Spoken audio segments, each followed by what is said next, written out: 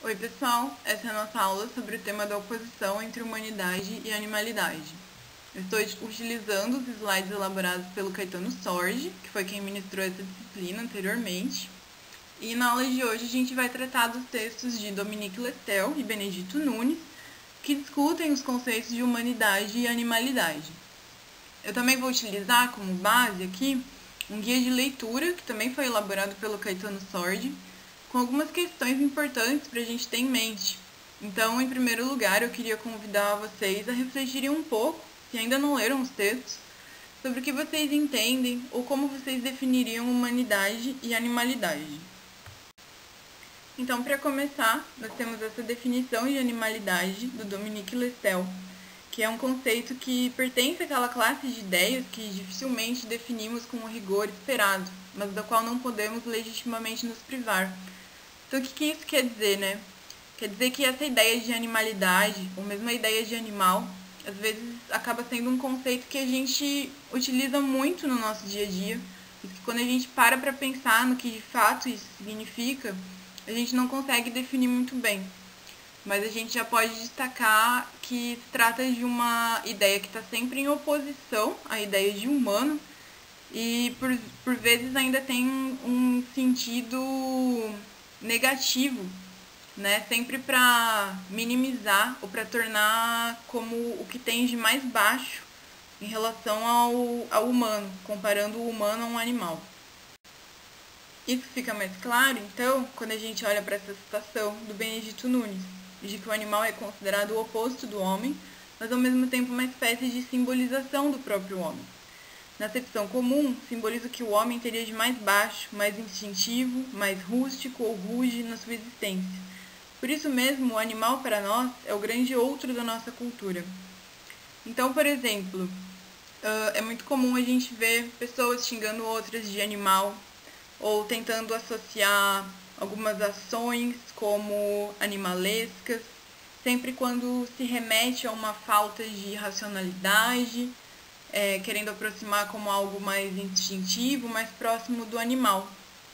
A gente vai ver também que muitos antropólogos, muitos pensadores uh, tentaram definir o que afinal seria o grande caráter distintivo né, do humano e do animal. Quais seriam esses critérios de distinção, né? Por exemplo, a fala, a arte, a organização em sociedade. Então, agora nos próximos slides a gente vai ver um pouco melhor é, esses critérios.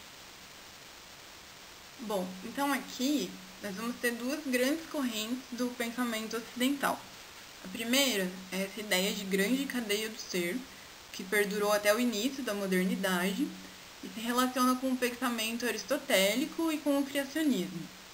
Nessa corrente, a ideia de que as espécies, os seres, possuem essências que são imutáveis, ou seja, elas são o que são desde o início da sua criação, né? elas têm um, um grande criador e isso não muda, essa essência delas não muda. Então, uma pedra sempre foi uma pedra, uma planta sempre foi uma planta, e assim sucessivamente, né? Desde o início de sua criação, essas características perduram. Mas isso também sugere um padrão de escalonamento que é baseado num grau de perfectibilidade. O que, que isso quer dizer? Que cada espécie ou cada ser tem a sua complexidade e isso faz com que eles sejam organizados numa espécie de escala do menos perfeito ao mais perfeito, né, de acordo com essa complexidade. Então, por exemplo, por exemplo, uma planta vai ser mais complexa do que uma pedra, um animal mais complexo do que a planta. E daí a gente tem o humano, então, como sendo esse ser mais perfeito devido à sua racionalidade, né? Depois, a gente tem o naturalismo moderno, que começa a perceber que não existe essa essência dos seres dessa forma imutável, né? Uh, mas os seres, as espécies, elas são mutáveis e isso e se deve a eventos contingentes da história natural, ou seja, eventos que acabam sendo responsáveis pela transformação em grau dos seres e não em uma transformação de natureza, uma transformação em grau, e que essas transformações vão definindo seus atributos, suas características. Inclusive, as características distintivas dos seres humanos vão ser decorrentes desses eventos, né? Essa é a tese do evolucionismo, que existe uma transformação, existe uma linha do tempo. Em ambas essas correntes, a gente vê que existe uma tese da excepcionalidade humana, tanto na grande cadeia do ser quanto no naturalismo moderno, o humano é percebido como esse grande ser superior. Avançando nas leituras e entendendo essa trajetória do pensamento ocidental, a gente se depara com a grande questão que é a humanização, ou seja, quando que surgiu a humanidade enquanto uma condição e quais são os atributos que definem essa humanidade, né? Então, não tem um consenso sobre qual seria esse início da humanidade e nem é possível precisar quais são esses atributos que definem, né? Por isso que a gente fala num paradoxo da humanização. Existe uma diferença entre a humanidade como espécie, isso é, o Homo sapiens sapiens, né, enquanto uma espécie, e a humanidade como uma condição, que seria essa condição que possui esses atributos, e que, para citar alguns deles, mas que não tem um consenso de quando surgiu algum deles, foi que, que se definiu que aí então surgiu a humanidade. Para citar então alguns atributos, são a racionalidade, a linguagem, a utilização de ferramentas, a organização social e política, os ritos religiosos, a arte, o consumo de carne e o desenvolvimento da cocção de alimentos, dentre tantos outros atributos que são responsáveis por caracterizar então essa humanidade.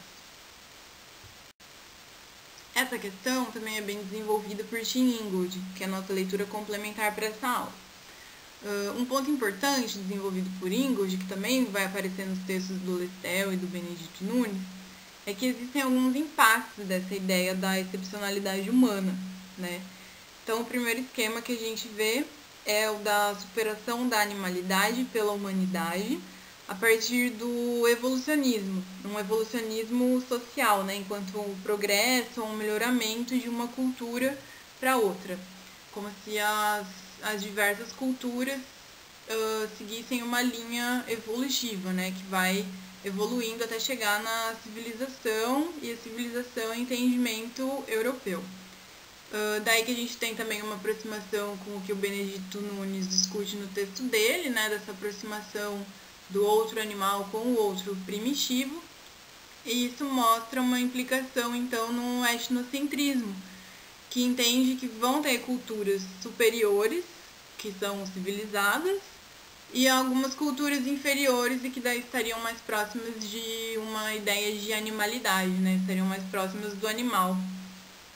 Uh, a outra versão dessa superação da animalidade pela humanidade já vai ter base nas teorias culturalistas, né? Não mais no, no evolucionismo. E daí a ideia é de que cada cultura teria sua passagem da animalidade para a humanidade. Então, mesmo que isso não siga uma única linha, entende-se que em todas as culturas, em algum momento, vai ter uma passagem da animalidade para a humanidade. E o impasse que a gente tem aqui seria o impasse do antropocentrismo. O que, isso quer dizer, né? Que mesmo que não se trate de uma linha evolutiva, como no, no primeiro caso que a gente viu, é assumido que em algum momento, em todas essas culturas, vai existir essa passagem da animalidade para a humanidade. E que só o humano vai ter cultura, vai ser esse ser detentor de cultura. Um ponto de interesse, então, que já vai entrando mais no objetivo da nossa disciplina, pensando nas ideias da virada animalista, das etnografias multiespécies, uh, Lestel traz essa ideia de comunidades híbridas, né, que se trata de deixar um pouco de lado o pressuposto de que apenas os humanos que compõem a vida social e olhar para essa vida social enquanto composta por outros seres, né, para além do, dos humanos. Então, se a gente pensa, por exemplo, num âmbito mais familiar, tem os animais domésticos, né, animais de estimação, ou por exemplo no âmbito econômico, os animais de produção, né, só para citar alguns exemplos. Uh, e daí nessa ideia das comunidades híbridas, então, a proposta é deixar de teorizar um pouco o que, que é o humano e o que, que é o animal e se deslocar mais para essas variações relacionais entre um e outro, né? Os, e os contextos sociais concretos. Ou seja, sair um pouco do, do plano simbólico, do que, que os animais representam, os humanos representam, e pensar nesse contexto social concreto, de como que eles estão se relacionando, né? E um outro ponto também seria uh, deslocar essa abordagem de quais são os atributos dos humanos, quais são os atributos dos animais, e olhar mais para as formas de interação e comunicação entre eles. Mesmo que eles não compartilhem de uma mesma linguagem, né? Mas pensar que existe uma comunicação entre humanos e animais que, claro, vai exceder a fala como a gente compreende. Nesse sentido, um nome bastante importante para essa discussão é do biólogo e filósofo alemão Jakob von Uexküll. Ele desenvolveu dois conceitos que são bem interessantes para pensar a animalidade, que é o conceito de Umgebung, que é ambiente, e o conceito de Umwelt, que é mundo próprio. Uh, esses conceitos, basicamente, então, é, seria de que os seres, eles estabelecem relações com o ambiente e eles também possuem uma capacidade de percepção e ação do mundo, né? Vai ser o que meio que vai definir esse seu mundo próprio. A partir dessas percepções que eles têm, é que eles, vamos dizer, constituem seu mundo próprio.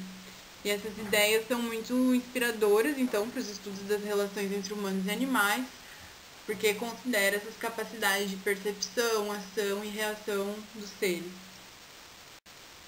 Para finalizar, então, fica essa citação do Lestel, de que uma verdadeira interatividade vem com um homem que pode coordenar suas ações através de encadeamentos complexos e significantes com as do animal, pelo viés do amansamento, da domesticação, da caça, do ritual, do combate, etc.